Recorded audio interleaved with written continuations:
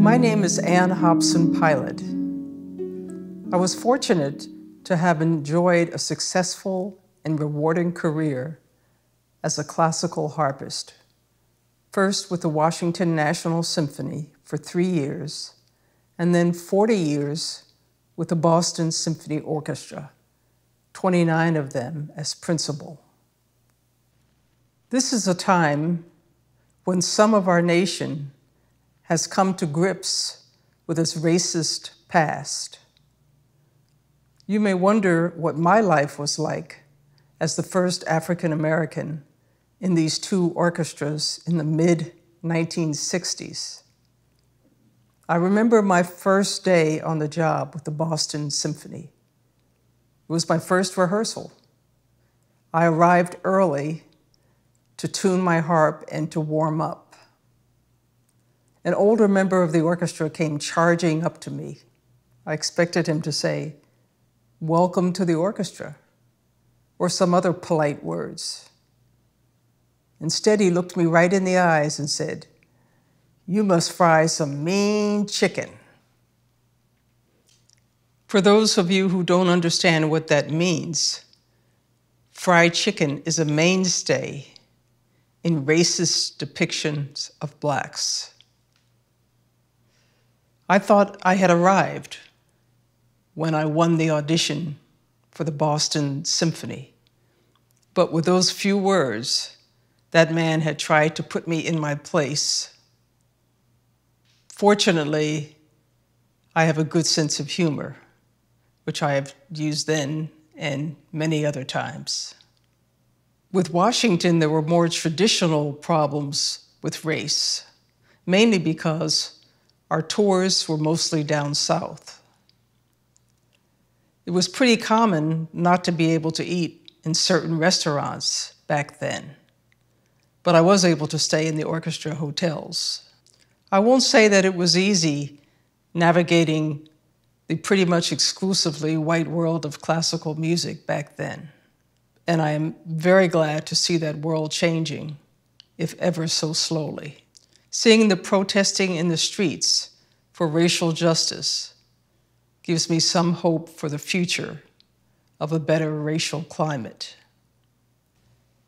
I will be playing a beautiful piece by the Argentinian composer Astor Piazzolla called Chiquilin de Bachin. I first fell in love with this work and other works by Piazzolla after I retired from the Boston Symphony about 10 years ago. When I first heard it, it was with a singer as it was intended. I couldn't understand the words in Spanish, but I was able to find an English translation. It is a very sad and dark story about a young boy who is so poor that he eats from trash cans and has no shoes.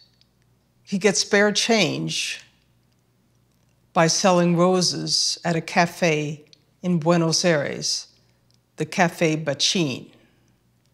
There was no arrangement for solo harp, so I asked Michael Maganuco to write one for me. Michael is a harpist as well as a composer, and he wrote this beautiful arrangement for solo harp. I think this work suits the harp very well with its warm and haunting tone. I will be using different techniques to vary the tone color, playing in the middle of the strings as usual, or lower on the strings, bell like sounds called harmonics, and open handed low notes on the wire strings.